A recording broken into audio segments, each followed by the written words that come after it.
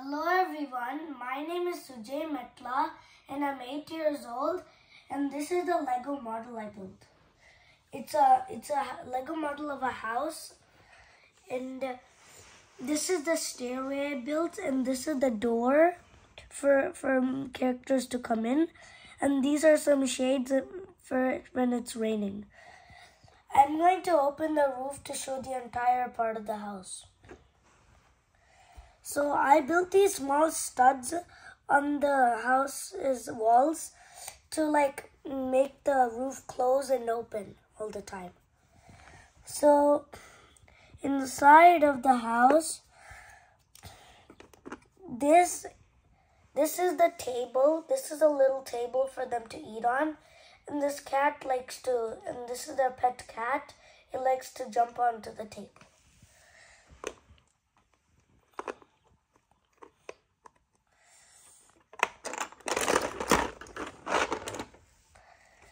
This is a little bed I built for the, for them to sleep on. So it's really simple to make. You just have to take this piece and both of these and, and this flat piece and put it together.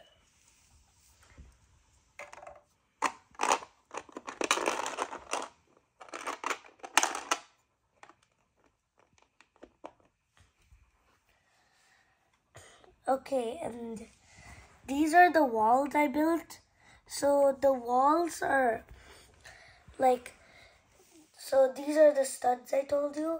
And the wall is, it's made out of some different kind of bricks. It's, you see, they're not all the same bricks.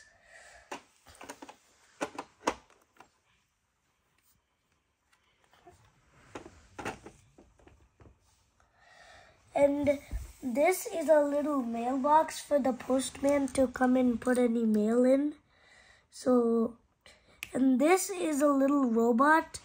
It's like, it's like a security robot. Like it patrols the house for, to, for like to keep it safe. And it can also help in repairs and this is the tool it uses. So, and this is the roof of the house I added this design for it to look like kind of cool and fancy. And this is a, like a right lightning rod. So like whenever it's raining, they might get a power cut.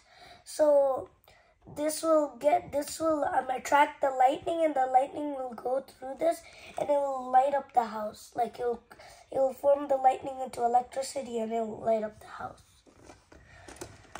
and these are the vehicles. So this is a boat.